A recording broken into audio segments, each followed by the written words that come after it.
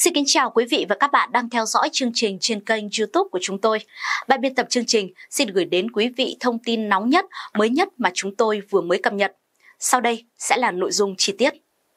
Ngày 10 tháng 10, tin từ Công an thị xã Buôn Hồ, tỉnh Đắk Lắk cho biết đã ra quyết định tạm giữ hình sự đối với Phạm Văn Huân, sinh năm 1994, ngụ huyện Đại Từ, tỉnh Thái Nguyên, để điều tra về hành vi gây tai nạn giao thông, làm một người chết, nhiều người bị thương.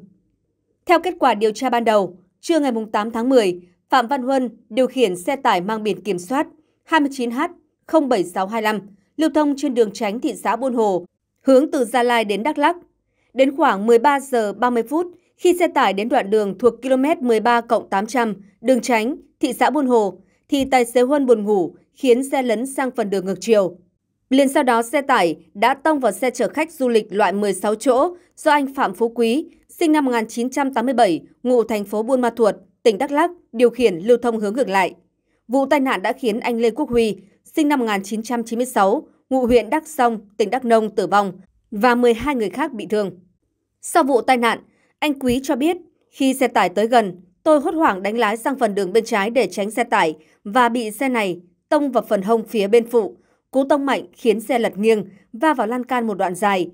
Nếu tôi không né kịp, thì hai xe đâm trực diện và hậu quả sẽ nặng nề hơn. Bên cạnh đó nếu không có lan can bên đường thì xe đã lao xuống dốc, lật nhiều vòng.